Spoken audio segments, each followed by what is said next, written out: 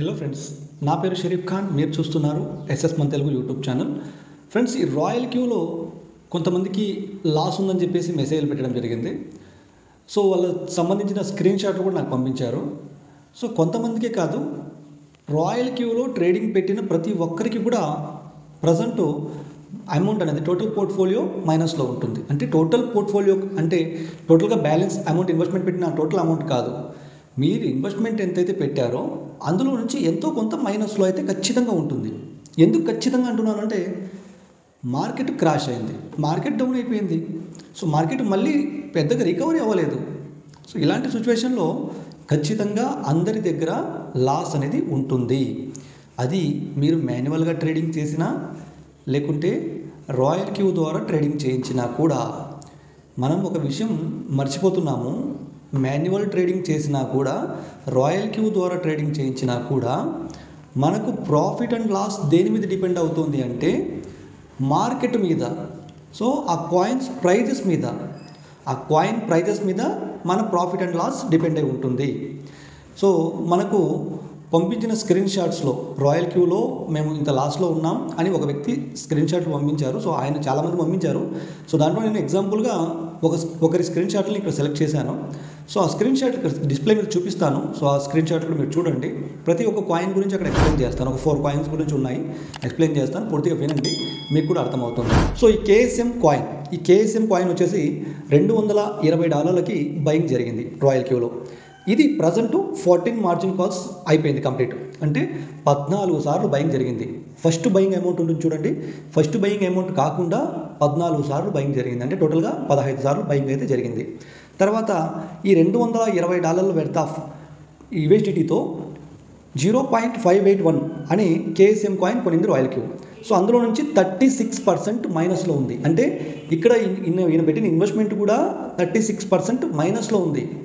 ముప్పై ఆరు పర్సెంట్ మైనస్లో ఉందంటే వందకి ముప్పై ఆరు డాలర్లు అంటే రెండు వందలకి దాదాపుగా డెబ్బై రెండు ఇంచుమించు డెబ్బై ఐదు డాలర్ల వరకు ఆయన లాస్ట్లో ఉన్నారు. రెండు వందల ఇరవై డాలర్లకి డెబ్బై ఆరు డాలర్ల వరకు లాస్ట్లో ఉన్నారు. థర్టీ సిక్స్ పర్సెంట్ అంటే. ఓకే? ఇప్పుడు ఈ లాస్ ఎలా రికవర్ చేసుకోవాలి అనేది చెప్తాను.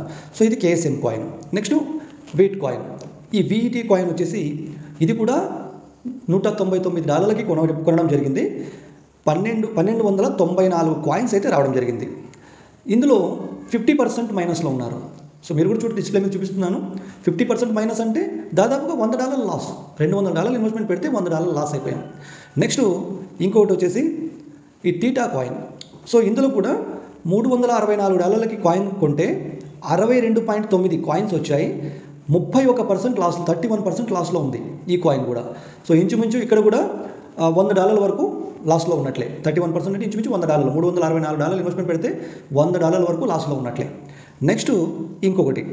టీఆర్ఎక్స్ కాయిన్ ఈ టీఆర్ఎక్స్ కాయిన్ వచ్చేసి నూట నలభై నాలుగు పాయింట్ యాభై సెన్స్ ఇన్వెస్ట్మెంట్ పెట్టి కొనడం జరిగింది. పద్నాలుగు వందల డెబ్బై ఎనిమిది కాయిన్స్ కొంటే థర్టీ త్రీ పర్సెంట్ మైనస్లో ఉంది. థర్టీ త్రీ పర్సెంట్ మైనస్లో ఉందంటే వందకి ముప్పై మూడు డాలర్లు. నాలుగు వందల పన్నెండు. దాదాపుగా ఒక యాభై డాలర్ల వరకు ఇంచుమించు లాస్లో ఉన్నట్లే. అంటే నలభై ఐదు డాలర్లు ఆ మధ్యలో లాస్లో ఉంది. సో నేను ఎగ్జాంపుల్ చెప్తున్నాను క్యాలిక్యులేట్ చేయలేదు. ఓకే మీరు క్యాలిక్యులేట్ చేసుకోవచ్చు కావాలంటే. సో థర్టీ త్రీ పర్సెంట్ మైనస్లో ఉంది. ఇప్పుడు ఈయన ఓపిక్కి మనము మెచ్చుకోవచ్చు. ఎందుకు అంటే మార్కెట్ మామూలుగా అందరూ నేనైనా ఏం చేస్తానంటే కంగారు పడిపోయి కొనేస్తాను అప్పుడప్పుడు. సో కొన్నిసార్లు టెన్షన్లో మైండ్ అనేది వర్క్ అవ్వదు అనమాట సో మార్కెట్ ఇంత డౌన్ అయిపోతుంది కొనేద్దాం కొనేద్దామని ఇన్వెస్ట్మెంట్ పెట్టేస్తూ వెళ్ళిపోతాం. సో ఈయన చూడండి దాదాపుగా నూట యాభై డాలర్లు కూడా పెట్టలేదు TRX కాయిన్కి investment thirty three percent market డంపింగ్లో ఉంది. ఇప్పుడు కూడా. దీన్ని రీకవర్ చేయడం గురించి మాట్లాడుకుందాం. మనము ఏం చేస్తామంటే ఇన్వెస్ట్మెంట్ పెట్టిన తర్వాత మన ఆలోచన ఎలా ఉంటుందంటే మార్కెట్ డౌన్ అయిపోతుందేమో మార్కెట్ డౌన్ అయిపోతుందేమో మార్కెట్ డౌన్ అయిపోతుందేమో. మన దగ్గర ఉన్న ఇన్వెస్ట్మెంట్ని యూజ్ చేస్తే ఇదే టెన్షన్ మన దగ్గర ఉన్న క్రిప్టో కరెన్సీని సేలింగ్ చేసిన తర్వాత మనం ఏంటి ఎలా ఆలోచిస్తుంది అంటే మార్కెట్ పెరిగిపోతుందేమో కొనేద్దాము మార్కెట్ పెరిగిపోతుందేమో కొనేద్దాము వాళ్ళని అడుగుతారు వీళ్ళని అడుగుతారు సార్ కాయిన్స్ ఆ పెరుగుతాయి ఇలా పెరుగుతాయా కొనేయమంటారా? టెన్షన్ మన దగ్గర ఇన్వెస్ట్మెంట్ ఉన్నా టెన్షనే మన దగ్గర క్రిప్టో కరెన్సీ హోల్డ్ చేస్తున్నా కూడా టెన్షనే సో టెన్షన్ ఎక్కడ కూడా మనం భరిస్తున్నాము. నాకు అర్థమైంది ఈ విషయాన్ని. సో మేము కూడా ఎక్స్పీరియన్స్ అయ్యి వీటిలో. మొదట్లో మొదట్లో అనుభవించాం ఇవన్నీ కూడా. తర్వాతే కూల్ అయ్యామన్నమాట మేము అర్థం చేసుకుని మార్కెట్ని ఇప్పుడు ఇక్కడ అర్థం చేసుకోవాల్సిన విషయం ఏంటంటే రెండు వందల ఇరవై డాలర్లు ఇన్వెస్ట్మెంట్ పెట్టి కుసామా కాయిన్ కొంటే ముప్పై ఆరు పర్సెంట్ మైనస్లో ఉంటే ఇప్పుడు ఎందుకు ఇన్వెస్ట్మెంట్ పెట్టకూడదు అని అడుగుతున్నాను నేను. సో నేను ఎన్నోసార్లు చెప్పుంటాను కాయిన్స్ మనం కొంటున్నాము అంటే మన దగ్గర ఇన్వెస్ట్మెంట్ ఖచ్చితంగా చాలా ఉండాలి మన దగ్గర ఉన్న ఇన్వెస్ట్మెంట్ని డివైడ్ చేసుకుని పెట్టుకోవాలి చెప్తూ ఉంటాను రాయల్ క్యూలో కూడా ఎవరైనా సరే జాయిన్ అవుతున్నారు అంటే నేను ఖచ్చితంగా వాళ్ళకి ఎక్స్ప్లెయిన్ చేస్తుంటాను. మీ దగ్గర మూడు వందల డాలర్ల పైగా ఉంటే ఒక కాయిన్ మాత్రమే ట్రేడింగ్ చేయించుకోండి.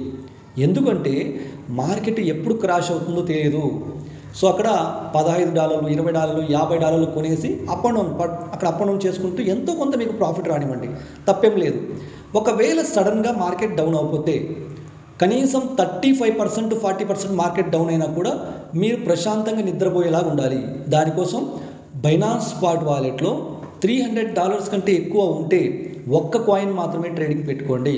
సో అక్కడ సిక్స్ హండ్రెడ్ డాలర్స్ కంటే ఎక్కువ ఉంటే రెండు కాయిన్స్ పెట్టుకోండి ట్రేడింగ్కి నైన్ హండ్రెడ్ డాలర్స్ కంటే ఎక్కువ ఉంటే థౌసండ్ డాలర్స్ బిలో ఉన్నా కూడా త్రీ కాయిన్స్ మాత్రమే ట్రేడింగ్ పెట్టుకోండి. సో నేను చెప్పేది ఏంటంటే ఇప్పుడు each one coin thirty percent forty percent fifty percent లాస్లో ఉంటే మీరు ఇప్పుడు ఇన్వెస్ట్మెంట్ పెడితే ఇక పైకి ఈ కాయిన్స్ పెరిగితే ప్రైస్ పెరిగితే ఎంత ప్రాఫిట్ వస్తుంది అన్న చిన్న లాజిక్ పాయింట్ మిస్ అయిపోతున్నారు.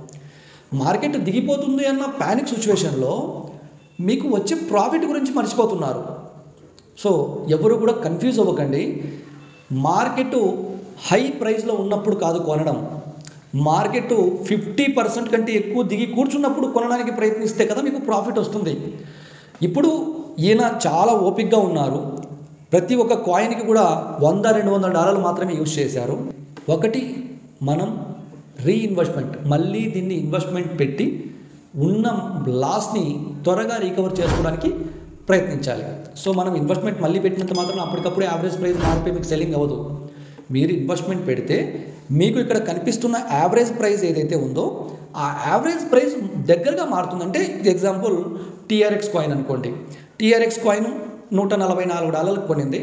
సో అక్కడ zero point nine double seven eight average price ఉంది టోటల్ క్వాంటిటీకి ఆ యావరేజ్ ప్రైస్ ఏమవుతుందంటే ఇంకో నూట నలభై నాలుగు డాలర్లు లేకుంటే వంద డాలర్లు మనం ఇన్వెస్ట్మెంట్ పెట్టామనుకోండి. ఒక హండ్రెడ్ డాలర్స్ ఇన్వెస్ట్మెంట్ పెడితే ఇది zero point zero nine seven దగ్గర నుంచి జీరో పాయింట్ జీరో ఎయిట్ సెవెన్కి వచ్చే ఛాన్సెస్ కూడా ఉంటుంది. అంటే కొంచెం దగ్గరగా వచ్చేస్తుంది యావరేజ్ ప్రైస్ అనేది. అప్పుడు మనకు త్వరగా యావరేజ్ అవుతుంది మార్కెట్ పెరిగినప్పుడు. ఓకే? అదనమాట. ఎగ్జ ఎగ్జాంపుల్ చెప్తున్నాను. సో నేను క్యాలిక్యులేట్ చేయలేదు. ఓకే? ఇప్పుడు మనము ఒక వంద డాలర్లతో ఒక కాయిన్ కొన్నామనుకోండి. వంద డాలర్ల ప్రైస్ ఉన్నప్పుడు ఆ కాయిన్ ప్రైస్ డౌన్ అయిపోయింది. దాదాపుగా ఒక ట్వంటీ పర్సెంట్ డౌన్ అయిపోయింది. ట్వంటీ డాలర్స్ లాస్లో ఉన్నారు.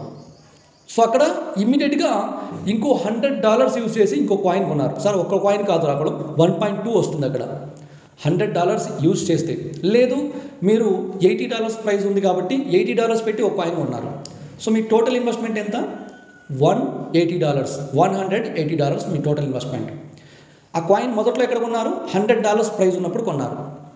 ఇప్పుడు ఎయిటీ డాలర్స్ ప్రైస్ ఉన్నప్పుడు కొన్నారు. సో వన్ ఎయిటీ డాలర్స్ మీరు ఇన్వెస్ట్మెంట్ పెట్టారు.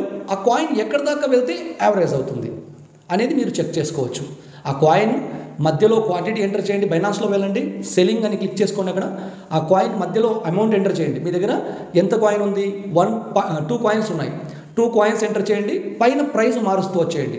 కింద మీకు వన్ ఎయిటీ డాలర్స్ ఎక్కడికైతే కౌంట్ అవుతాయో అది మీ యావరేజ్ ప్రైస్ మీరు చెక్ చేసుకోవాలనిపిస్తే మాన్యువల్గా లేదంటే ఇక్కడ ఆటోమేటిక్గా మీకు యావరేజ్ ప్రైస్ చూపిస్తేస్తుంటుంది రాయల్ క్యూ సో ఎవరికైతే ఈ క్యాలిక్యులేషన్స్ రావో ఎవరికైతే ఎక్కడ కొనాలో తెలియదో ఓకే ఎవరి దగ్గర అయితే ఇన్వెస్ట్మెంట్ ఎక్కువగా పిచ్చి పిచ్చిగా యూజ్ చేస్తూ ఉంటారో వాళ్ళని కంట్రోల్ చేసుకోవడానికి రాయల్ క్యూ యూజ్ అవుతుంది.